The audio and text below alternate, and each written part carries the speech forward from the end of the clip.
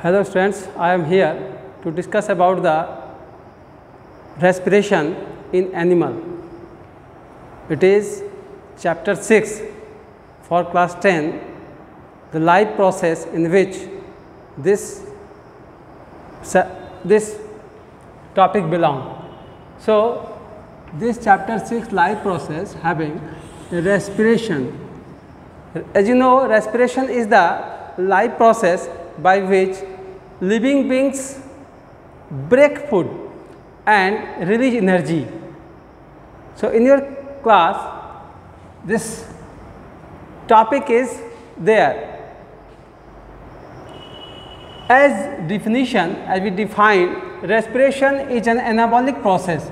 Anabolic process means the process in which breaking of things takes place.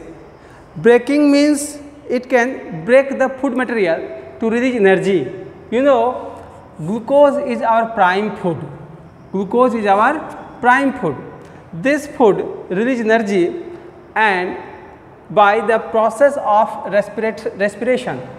So, we define respiration as it is an anabolic process in which living beings oxidize food to release energy.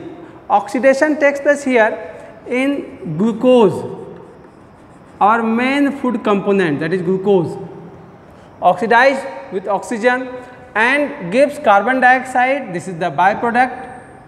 Sorry this is the product. And main thing water and energy released. This energy is stored in the muscles in the form of ATP adenosine triphosphate. This ATP energy is stored and then it is used in our daily activities.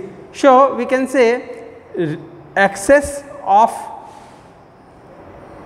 activities of respiration leads to excess production of energy. So, when we do exercise, when we play physical games, outdoor games, then after we need more energy to for our body. This is fulfilled by the help of high rate of respiration. So, in that time our respiratory rate become more and more. So, this maintained by the requirement of energy and supply of oxygen to our body and fulfill the requirement as we need to do activities in our body. So, biochemical process this is a biochemical process because it involves in the living beings that is why it is called biochemical process. Living organism do the process and fulfill their requirement of energy by this process. So, respiration takes place in every living beings. It is for the plants and animal as well as small organism also do respiration. So many people having confusion or so many students understood that plant never take oxygen. But it is really not true. Plant take respiration during the during the night time and when there is no sunlight they do respiration. In spite of the activities opposite of that that is photosynthesis. When photosynthesis occur they release oxygen. But when respiration occur they take oxygen and release carbon dioxide as us so, say in plants there is compensation point, compensation point. It means it is a condition when the rate of respiration and rate of photosynthesis is equal. So, it is a condition of plants.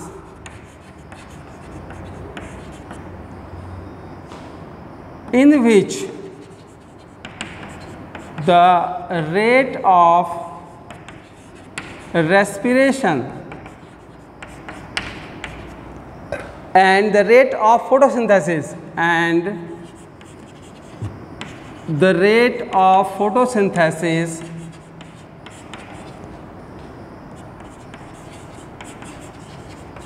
is equal. So, when it occur the condition occur during the early morning early morning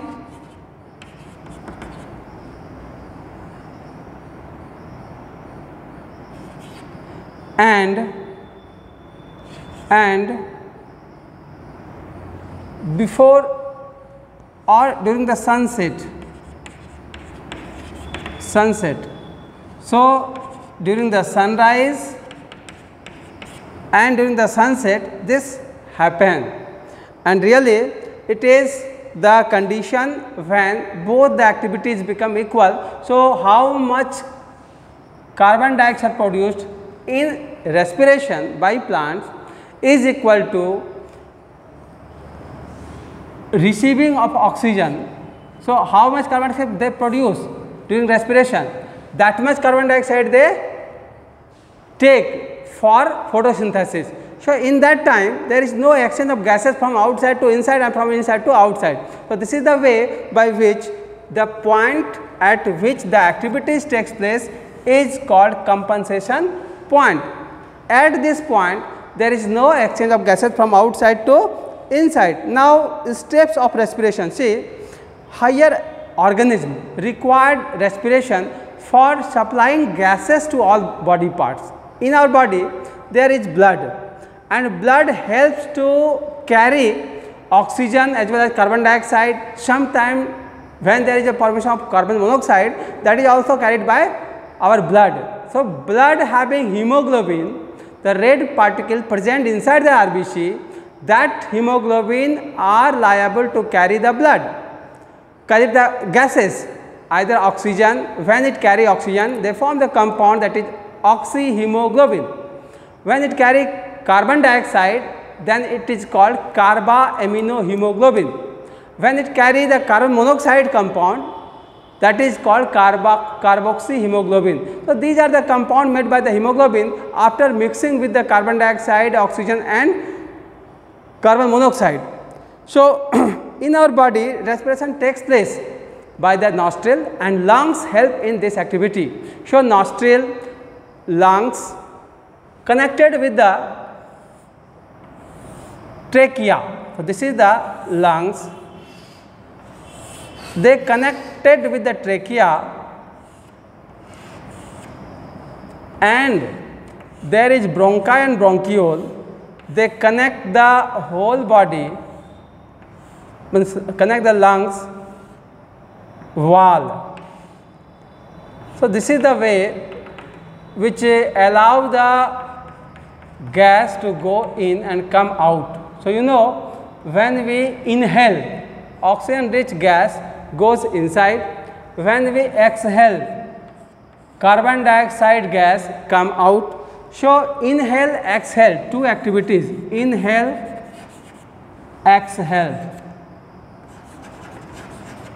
Are the two activities take place by the help of our respiratory system?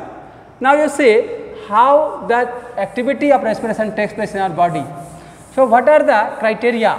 So in which we have some steps to follow for completion of the activity of respiration. So, respiration completed within following activities. The first one breathing, second one external respiration, third one internal respiration and fourth one that is cellular respiration. So, see steps of respiration. Steps of respiration. The first breathing, second that is external respiration, external respiration, third internal respiration,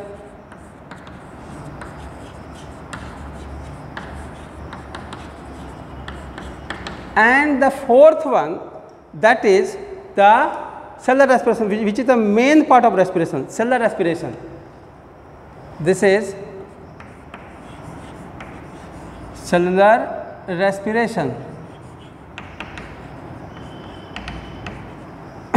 All the activities done for completion of anabolism or anabolic activities that is respiration. So, see breathing. In breathing what happens? So, you see here this is the lungs structure of lungs, this is the trachea. It is also called windpipe and after that it divide into two parts. This, this one part, two part. The, these parts are called bronchi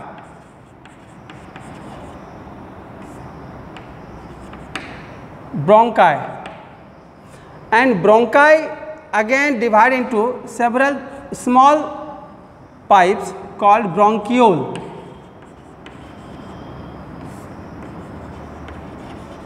Bronchiole. And you say this is the covering of lungs. In the bottom this is the diaphragm.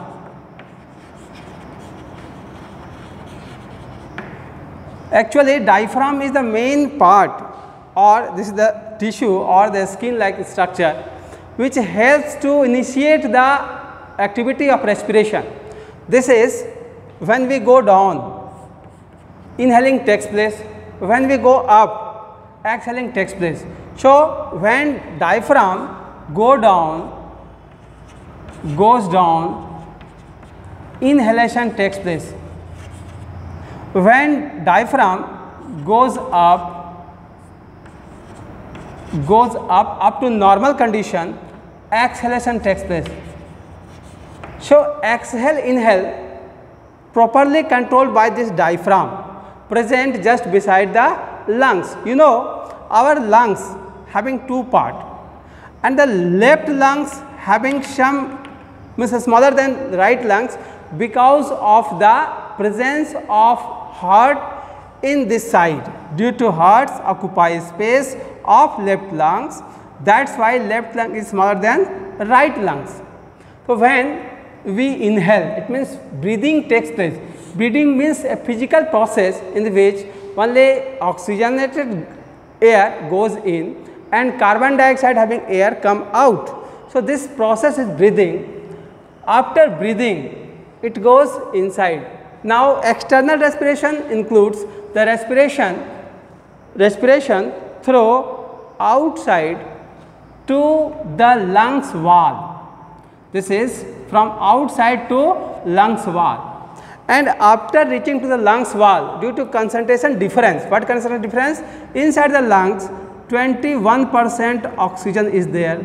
Inside blood 17 percent oxygen is there. So oxygen goes inside the blood.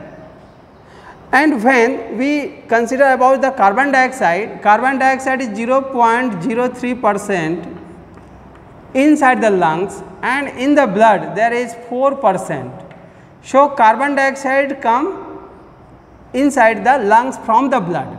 So, this is the way due to concentration difference external respiration and internal respiration takes place in our lungs. After reaching the blood oxygen to the blood, the blood carries them carry them to the cell. Cell receive oxygen, cell have glucose and cell have the capability to break the glucose with the help of this oxygen inside the mitochondria mitochondria. This mitochondria is the center or the, the place where the oxidation takes place and the process when release of uh, energy takes place after breaking of this food or glucose is called cellular respiration.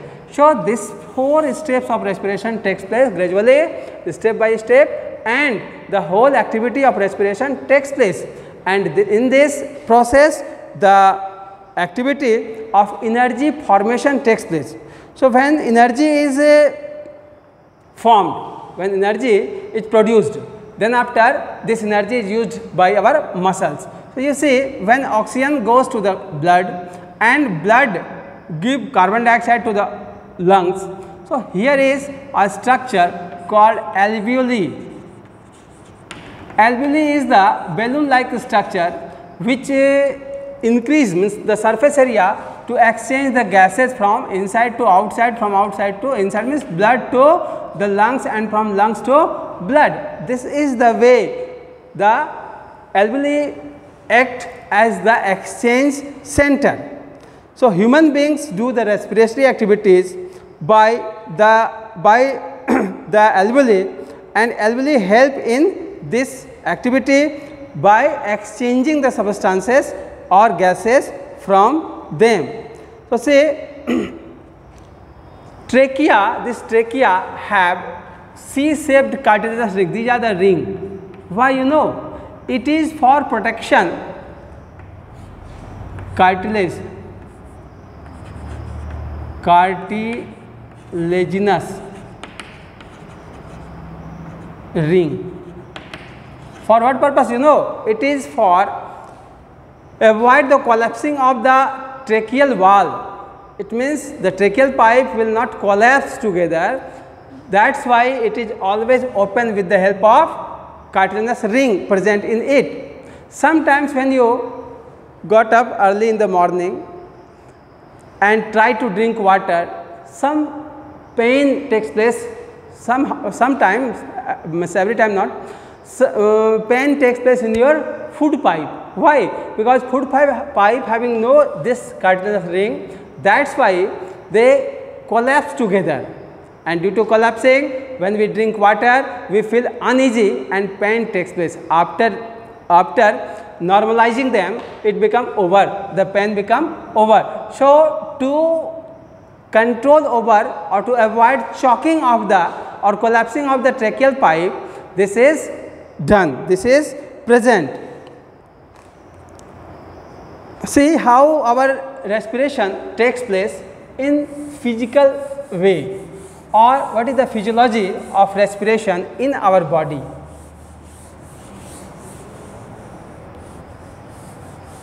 So, say external nostril,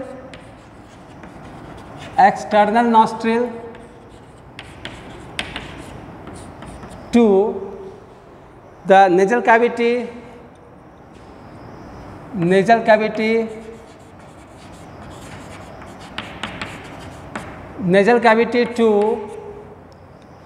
the internal nostril, internal nostril,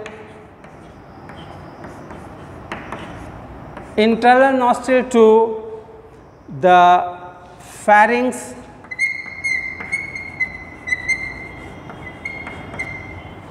pharynx to the larynx, larynx to the trachea,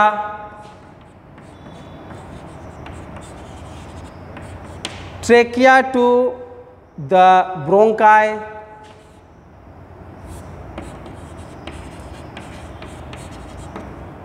bronchi to the bronchiole,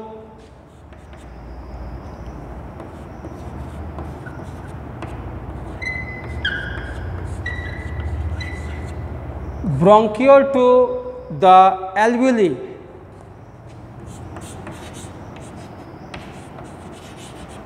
You see these are the places from where our oxygen rich blood move and after the activity of their uh, movement they again come back from the same same places towards the outside so, it is inspiration takes place.